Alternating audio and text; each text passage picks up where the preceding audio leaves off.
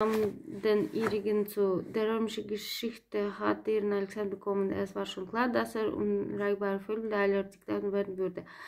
Mit kleinen Geschlechten blieb nur seine Taten zu beschreiben. Das sollte meine geplante Biografie tun. Der Unterlagen dafür hatte ich jetzt. Seit drei Worte verteilen 300 Familien unter sich. Hören Ämter inner und außerhalb Rom. Der Senat war Börse.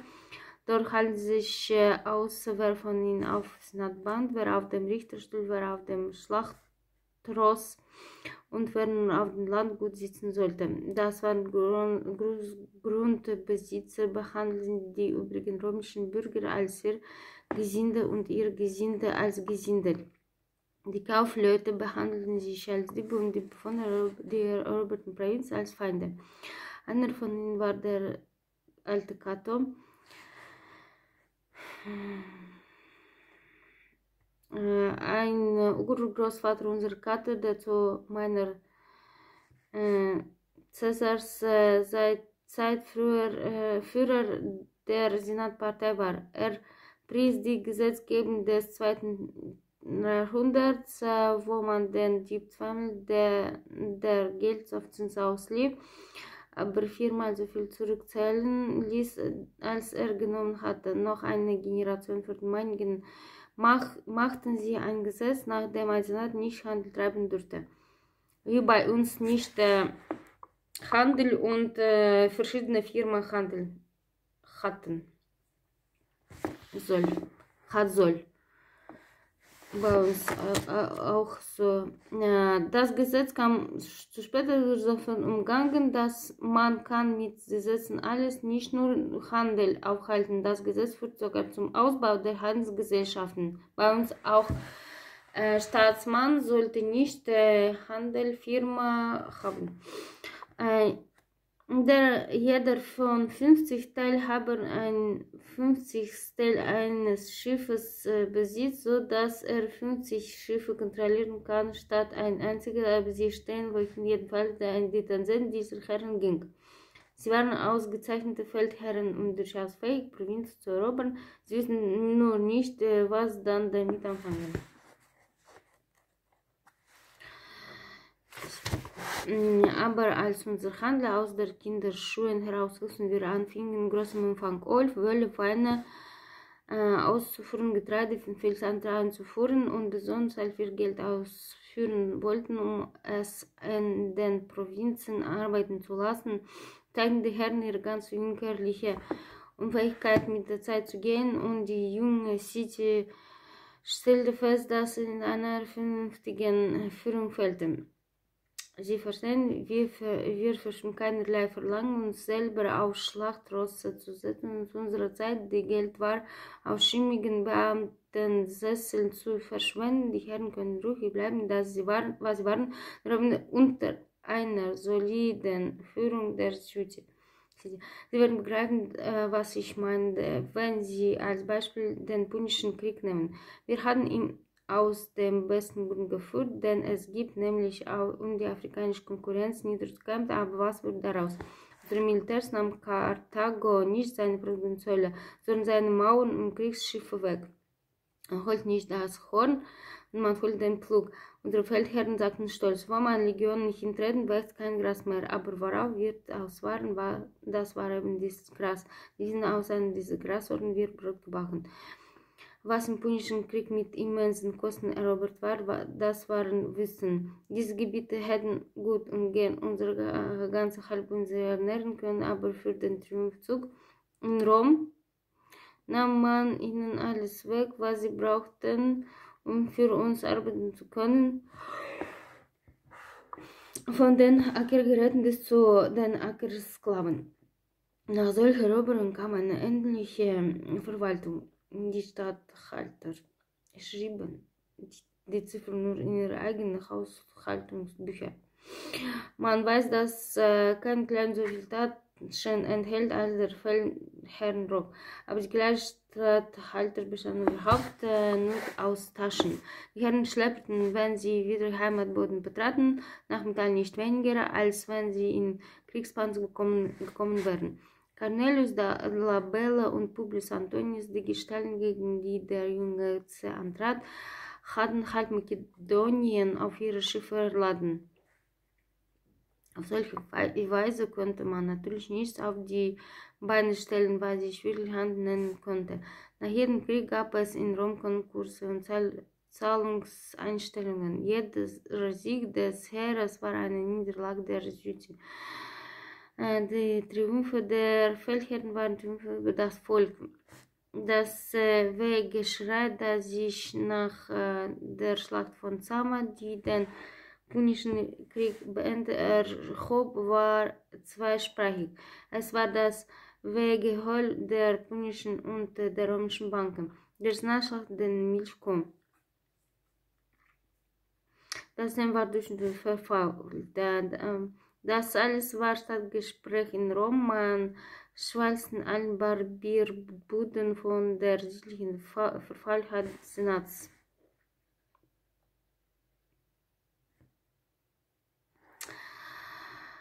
Ähm, man schwatzt sogar im Senat selber von der Notwendigkeit einer durchgreifenden monarchischen Wiedergeburt.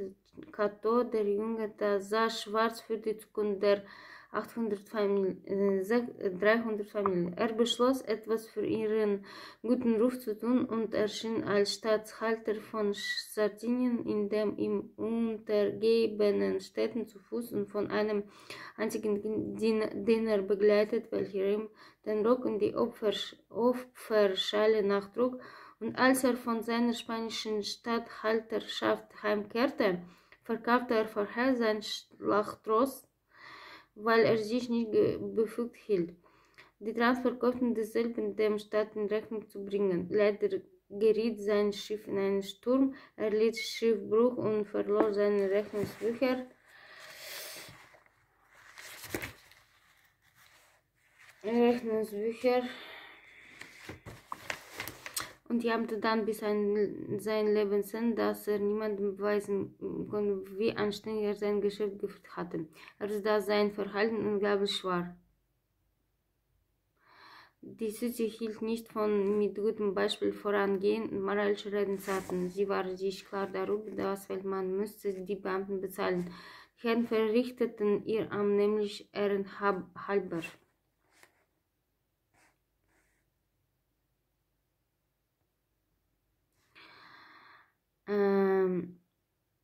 Für Arbeit zu nehmen, erschien ihnen schimpflich. Bei solchen deren blieb ihnen natürlich nicht übrig, als zu stellen. Und sie stahlen von den Tributen, von den Straßenbauten und Wasser aus den staatlichen Wasserleitungen. Dies war, wie gesagt, nicht unvernünftig. Sie setzte sich mit den Kaufleuten in den obersten Provinzen ins Benehmen und ermunterte sie, Prozesse anzustrengen. Es gab also Prozesse, Cicero selbst. Ja, die große Trompete der City führte einige im Auftrag sizilianischen Firmen. Aber unsere Herren von Senat gewöhnt sich mit der Zeit an der Propheten, wie man sich an Regen gewöhnt. Man zieht einen Mantel an. Sie stellen sofort nicht mehr bei einigen vielen, sondern bei vielen einiges. Und wenn durch Prozess drohten, stellen sie alles. Äh, zum Prozess führen ist Geld nötig. Also stellen sie denn, die sie ausplünderten, auch noch die eventuellen Prozesskosten.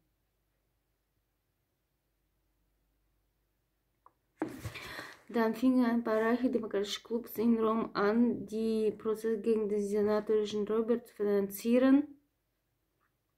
Das heißt, gegen den unverschämsten von ihnen, diejenigen, die sogar römische Kaufleute in der Provinz an der Führung ihrer Geschäfte hinderten. Diese Prozesse diskutieren immerhin ein wenig und was vielleicht, vielleicht noch wichtiger war, die jungen Anwälte könnten sich in die Materie einarbeiten. Ähm, denn hier äh, handelt es sich nicht nur darum, äh, ein paar wichtige Reden zu halten. Der Anwalt hat Zeugen aufzustellen und einzuüben. Mm, Und er hat die Geldsummen geschickt zu verteilen, sodass er Gerichtsapparat zu gut geölt war. Wir begannen sogar aus den senatorischen Familien wählte. Auf keine andere Weise konnten sie die Verwaltungsmaschinen besser studieren. Man kann bestochen haben, um sich selbst ordentlich bestechen lassen zu können. Äh, Ziffer bei Prozesse, einige meinen, wie, weil er zu untüchtig ich meine, weil er zu tüchtig war. Auf das Letztere deutet, dass er danach verreisen musste, um, wie er sich mit Gunnar selbst ausdrückte, einer gegen ihn erregten gehässigen Stimmung aus dem Weg zu gehen. Er erfuhr nach Rhodos angeblich, um sich in der Redekunst zu vervollkommen.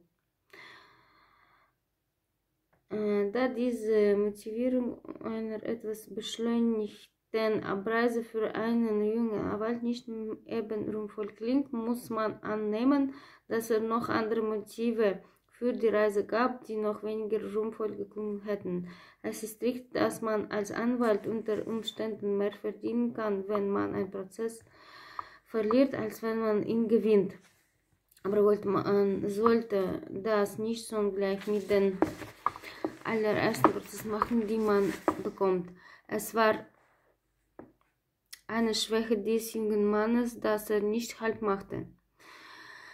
Wahrscheinlich wollte er von Anfang an ein richtiger Anwalt sein. Mit der Kriegsführung machte er es später genauso. Er brach immer Geld, er hat es auch einmal mit Sklavenhandel versucht, sagte dem, der Alte ihm weitergehen. Sie haben wohl gehört der Geschichte mit der Seeräubern. Ich begriff, dass er wieder von C sprach und nickte erstaunt. Anekdote stand in allen Schulbüchern. Wären Sie bereit zu wiederholen, was Sie davon wissen? fragte. Ich bin bereit, sagte ich, wiederholt, was ich davon wusste. Ich gab meine Stimme ein wenig vor den Tonfall, indem ich gelernt von meinem griechischen Lehrer aufzusagen pflegte und ich die so berühmte Anekdote zitierte. Der junge Cäsar wurde in der Insel Parmacusa von Piraten gefangen gesetzt. Sie unterhielten beträchtliche Flotten, bedeckten das Meer mit einer großen Menge von Fahrzeugen. Anfänglich verhörte er die Piraten, weil sie nicht mehr als 20 Lösegeld forderten. Wussten sie nicht, wenn sie gefangen hatten, erbot sie freiwillig ihnen 50 zu bezahlen und so verschickte er einen Begleiter in verschiedene Städte, das Geld aufzubringen. Mit einem, seinem Arzt, seinem Koch und zwei Kameradinnen blieb er gelassen bei der no mordgierigen kleinen Asiaten zurück. Er behandelte sie weiter so verächtlich, dass er ihnen so oft äh, er sich schlafen legte, befahl Ruhe zu halten. 38 Tage verlebte er auf eine Art, dass die Schiffsbesatzung er, er seine Leibwache zu sein schien, als er ihn gefangen und ohne die geringste Furcht trieb er mit äh, ihnen Scherz und Spiel. Bisweilen äh, setzte er sogar Gerichte und Reden als, äh, und las sie ihnen vor die sie nicht äh, bewundern nannte er Dummkopf und Barbaren, drohte ihn auch auf der Unterlachen, dass er sie noch aufhängen lassen wolle. Die Braten amüsierten sich sehr über ihn und nahmen seine freien Reden als charmante Späße. Aber sobald das Lösegeld aus Mille eintroffen er in Freiheit gesetzt war, bemannte er im Hafen von Milet einige Fahrzeuge mit bewaffneten lief gegen den Piraten auf. Er fand sie auch noch in den Sittel von Anker liegen und bekam die meisten in seine Gewalt. Ihre Reichtümer betrachtete er als eine rechtmäßige Beute. Sie selbst aber lieferte er in das Gefängnis von Pergamus und begab sich dann zu Junius, dem Statthalter von Asien, bei ihm die Bestrafung seiner Gefangenen zu erwirken.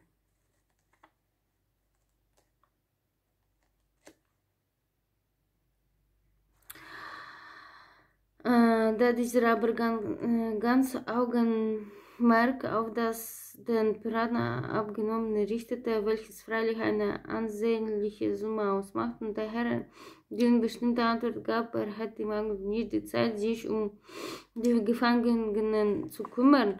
ging Caesar, ohne sich weiter anzukehren, nach Pergam zurück und ließ die Piraten sämtlich auf seine Macht vollkommen aus Kreuz schlagen, wie er es ihnen auf der Insel oft scherzhaft vorausgesagt hatte.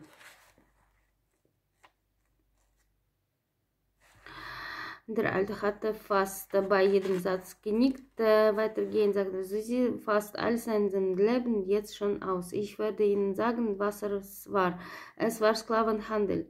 Das Kleingeschäft fällt in die Zeit, wo Cäsar das Begräbnis seiner ersten Frau und seiner Tante zu einer Demonstration für die Demokratie ausnutzt und mittelbar Prozesses gegen die Begriffe der Senatoren in den Provinzen anstrengend hatte. Es handelt sich um eine Fahrt nach Rhodos, wo er bei einem Griechen das lernen wollte. Unser junger Anwalt lieb, liebte es, Marilyn zugleich zu tun.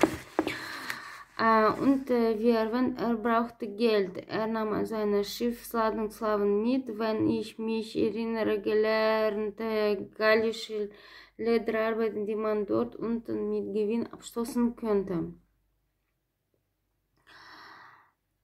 Mm, es war natürlich Schmuggel.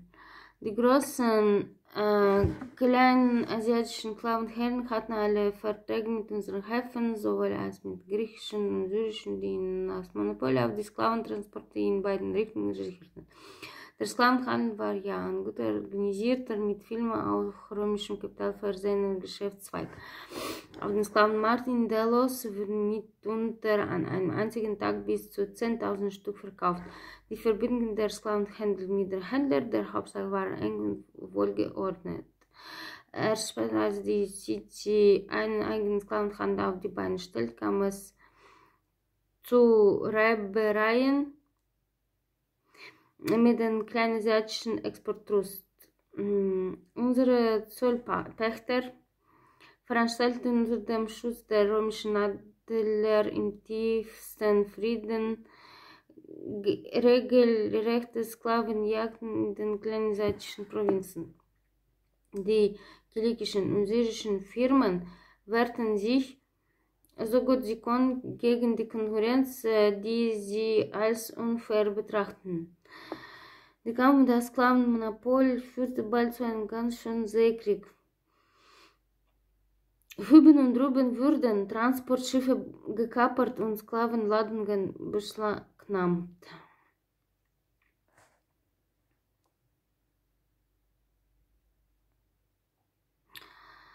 Äh, die römischen Firmen schimpften die kleinseitischen, die kleinseitischen, die römischen Piraten. Zephyr im Winter, wo man die Stürme wegen von den kleinseitischen Kaperschiffen sicher war. Sie fingen aber doch ab. Man nahm ihm eine Ladung weg und setzte ihn in Gewahrsam. Man ließ ihm ein, sein Arzt, äh, seine Kammerdiener und hörte sich sogar geduldig seine Gedichte an. Die guten kleinen Asier ließen sich auch diese Brutalität gefallen und blieben höflich. Er sollte nur die Schadenersatzsumme bezahlen, die nach der Größe der geschmuggelten Ladung berechnet äh, würde. Es war 20 Talente. Das Weitere, was ich Ihnen habe ich vor dem Protokoll äh, Prokonsul Junius untersuchte die Angehörigen, weil ein Großskandal entstand. Sie wandten sich zunächst durchboten an die kleinseitischen Städte um das Geld. Er verbarg, dass es sich um einen Schadenersatz für Sklavenhandel handelte.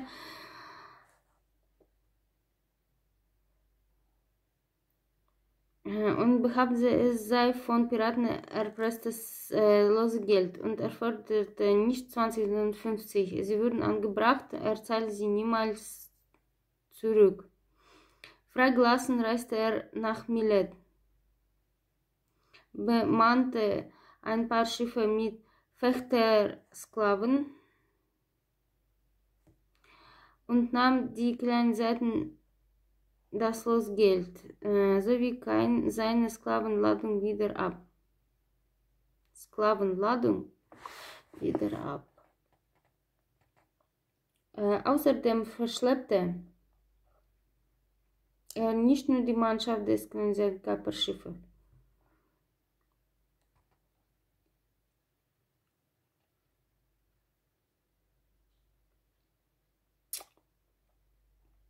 sondern auch einige Sklavenhändler, die es ausgeschickt hatten, sowie alle Sklavenvorräte, die er bei ihnen vorfand, nach Pergamos. Von Junius darüber zur Rede gestellt,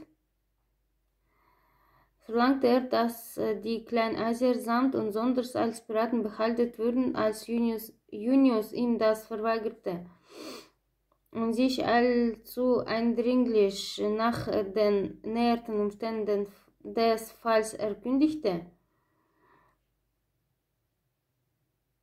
reiste er bei Nacht und Nebel nach Pergamos ab und ließ die kleinen Asiaten mit gefälschten Orders ans Kreuz hängen, damit sie nicht gegen ihn aussagen könnten. Sie dürfen nicht aus dem Auge verlieren, dass sich hier Kaufleute aufhängen ließ.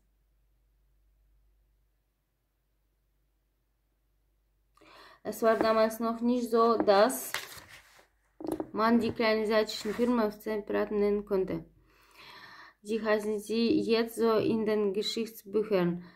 Da sie von uns geschrieben sind, können wir natürlich eine Anschauung der Dinge zur Geltung bringen. Schon damals war aber in Rom mit einem Haufen Geld eine moralische Kampagne gegen die kleinen Seiten gestartet worden.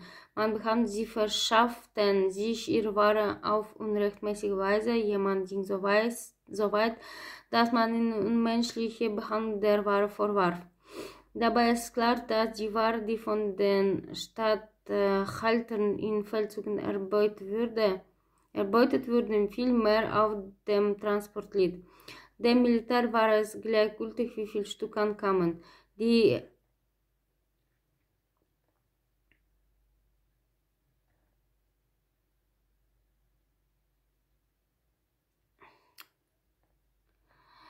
Die Händler dagegen verloren mit dem Mann Geld und sorgten daher für sanitäre Verfrachtung. Verfrachtung. Aber erst Jahr nach dem kleinen Vorfall, vor dem wir sprechen, erreichten es die römischen Firmen, dass ihre Sache zur Sache Roms äh, gemacht wurde. Sie halfen der Stimmung auf dem Forum etwas nach, indem sie gelegentlich eine römische Getreideschiffe durch irgendwelche griechischen Freibeuter kapern ließen.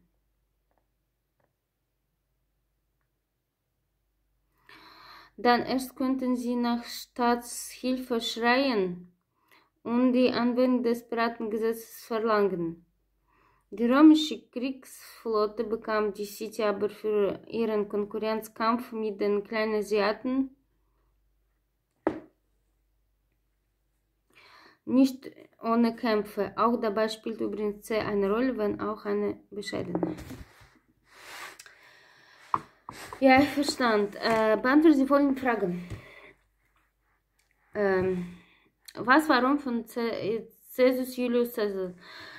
Es war äh, verfault, äh, solche Atmosphäre war, solche Stimmungen war, äh, es war äh, Menschenhandel, Sklavenhandel. Welche Rolle spielte Caesar in der römischen Geschichte? Eine große Rolle spielte Caesar. Wem gehört die Macht in Rom? Äh, die Macht in Rom äh, gehörte dem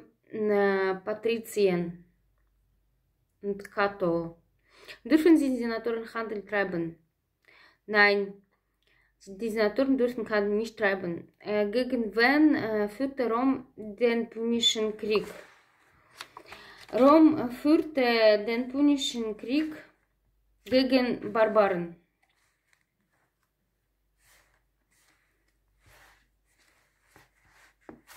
Пуническая.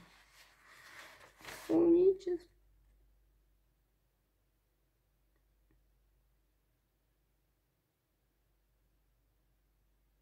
Gegen Barbaren.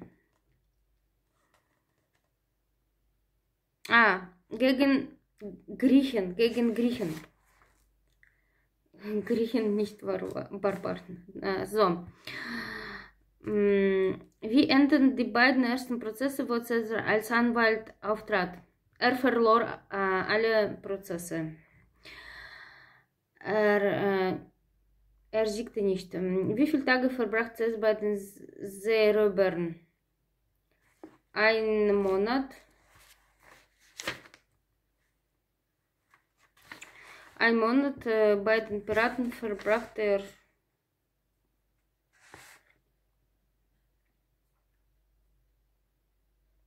achtunddreißig Tage verlebte er auf eine Art.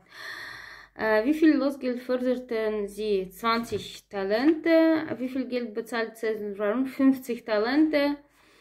Er wollte dieses Geld äh, zurücknehmen. Was macht er nach seiner Befreiung? Er, ähm, er bewaffnete, bewaffnete ein Schiff äh, mit dem bewaffneten Menschen und ähm, äh, erobert, attackierte Piraten und er hängte ihnen повесил. Ähm, und ähm, äh, nahm Geld zurück, 50 Talenten. Was macht er nach seinem Bef äh, was geschah in, der, in Wirklichkeit? In Wirklichkeit äh, waren sie nicht äh, Piraten, aber Händler. Äh, und er wollte einfach seine Macht zeigen und äh, er sehr, war sehr sch schlau. Er war sehr schlau, sehr Vernunft.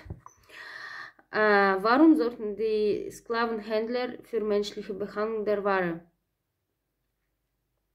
Es handelt sich um äh, äh, über schlechte Bedingungen im schlechte Bedingungen im Schiff zum Beispiel. Äh, vielmehr auf dem Transport litt. Die Menschen litten im Transport, es war Antisanitarie und so weiter. Mein Jung, äh, 1940. Mein jüngerer Sohn fragt mich, soll ich Mathematik lernen? Wozu möchte ich sagen, dass zwei Stück Brot mehr ist als eines? Was wirst du so, auch so merken? Mein jüngerer Sohn fragt mich, soll ich Französisch lernen? Wozu möchte ich sagen, dieses Reich geht unter und treibe du nur mit der Hand den Bauch und stöhne. Ähm, und man wird dies schon verstehen. Mein jüngerer Sohn fragt mich, soll ich Geschichte lernen? Wozu möchte ich sagen, lerne du deinen Kopf in die Erde stecken, da, du wirst, da wirst du vielleicht übrig bleiben. Ja, ich lerne Mathematik, sagte ich, lerne Französisch, lerne Geschichte. Hollywood. Jeden Morgen mein Brot zu verdienen, gehe ich auf den Markt, wo Lügen gekauft werden. Hoffnungsvoll reihe ich mich ein zwischen die Verkäufer. Kellermann.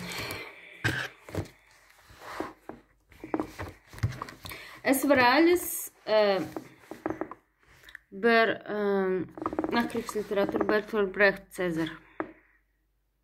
Dann, es war Theaterstück. So. Erzählung, äh, Szenario. Dankeschön, bis zum nächsten Mal. Auf Wiederhören.